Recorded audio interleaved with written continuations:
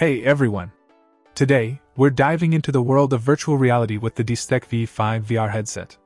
Now, before we jump in, make sure to hit that subscribe button and ring the notification bell so you won't miss out on more tech reviews like this one. Now, the DESTEK V5 VR headset is designed for phones with a gyro sensor, providing compatibility with a range of models, from iPhones to Samsung devices.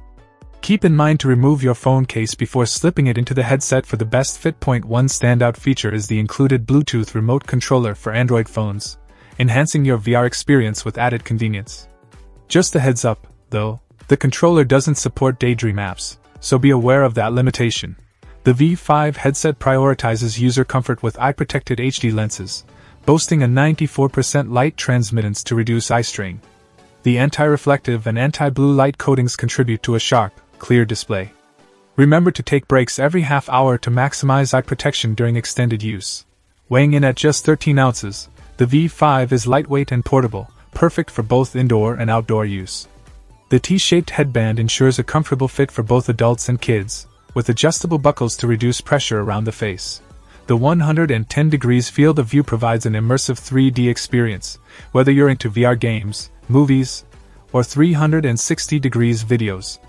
It's not just about watching, it's about feeling like an actual part of the action. Point one notable feature is the V5's support for wearing glasses, offering universally accepting spaces to accommodate various eyewear needs.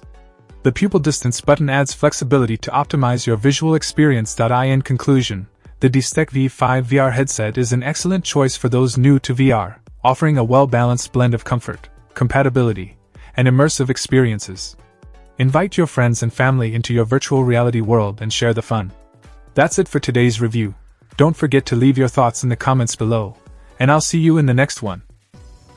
Check out the video description for updated price. And thank you for watching this video.